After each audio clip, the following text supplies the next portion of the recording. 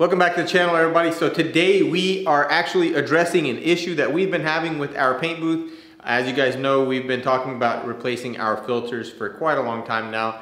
And uh, so today we're finally going to get that done.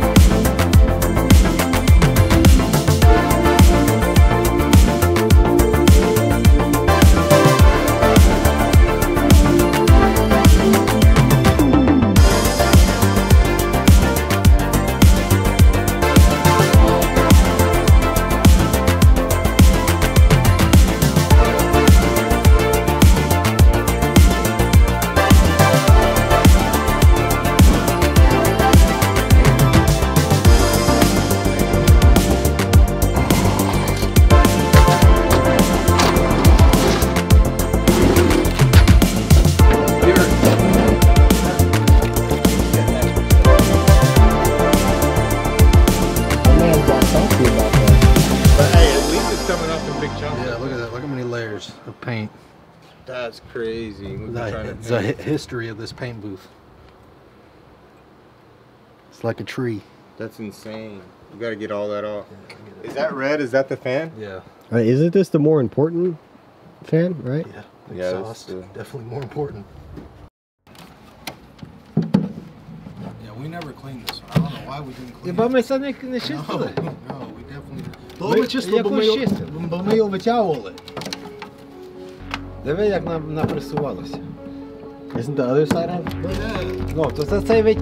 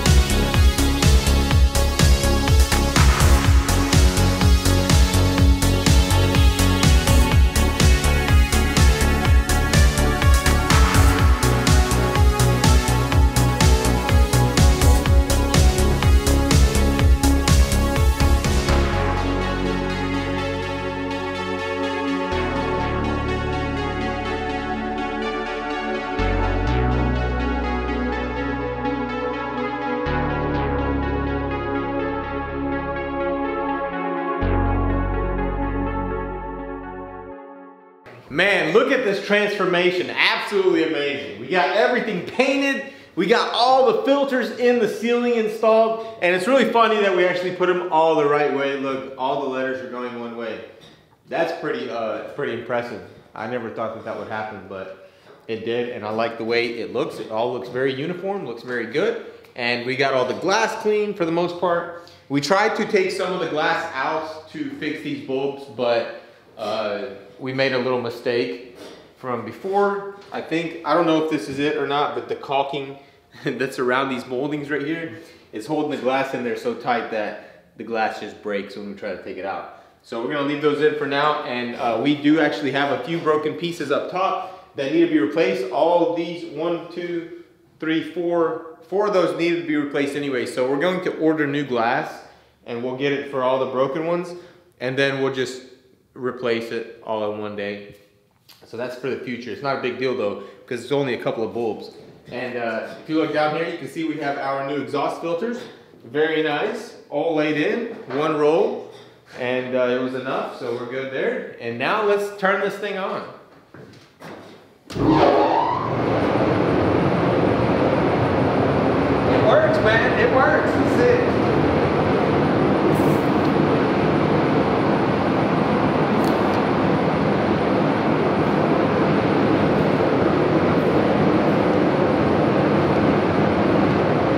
Spray some. Go get some paint. Huh? Go get some paint. Nah. Nah, we can't ruin it. We can't we can't be painting in here. Hey, we can't be painting in here anymore. it's too clean. It's too nice. This is more of like a uh, a white noise room now. We're just Yeah, going to yeah. come in here, turn the fan on, and just hang out and relax. Uh, but yeah, it's looking really good. What else do you think we need to do, Nate? I kind of I kind of don't like that we didn't paint these uh, these grates. They look a little bit raggedy. I do agree. I know we're gonna get some comments about that, but here's the thing. I feel like those would have to be really sanded down and painted like we. I don't want to put latex on there because if it peels, it's gonna be falling into the paint, and then if you don't sand them down, you know you could have paint peeling off. I think all it's missing is like a big old fat decal on that back wall, and that's it. Yeah, big decal would be pretty cool. And then we need to spray all the walls down and everything with the booth coating. And that's basically going to do like a, it's going to seal it and then uh, once it gets built up with a bunch of overspray, we'll hit it with the water hose and it'll all come off. So that's really cool. That's what we should have done from the beginning, but we didn't because I don't even know why we didn't. We just didn't. But we'll do it this time and I think it's gonna be good, so.